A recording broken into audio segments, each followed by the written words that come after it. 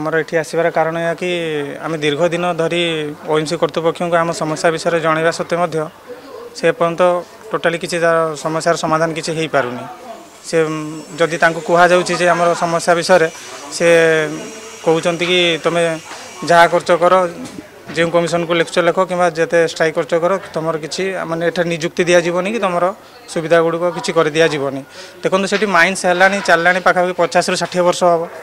চিন্তা করতু আজ পর্যন্ত সে গাঁরে নিকটস্থ গাঁরে যে যেগুড়া কি খনি প্রভাবিত অঞ্চল অছি এপর্যন্ত করেন্ট না রাস্তাঘাট না শিক্ষা স্বাস্থ্য ব্যবস্থা বহুত বিপর্যস্ত ভাবে পড়ি রয়েছে টিকে কোণ দাবি করছো ଆମେ ବର୍ତ୍ତମାନ ଦାବି କରୁଛୁ କି ଆମର ସେ ଯେଉଁ ସମସ୍ୟା ଗୁଡ଼ିକ ରହିଛି ଗ୍ରାମାଞ୍ଚଳ ଗୁଡ଼ିକରେ ସେସବୁ ଗୁଡ଼ିକୁ ପୂରଣ କରାଯାଉ କାହା କାହାକୁ ଭେଟିଛ ଏ ନେଇକି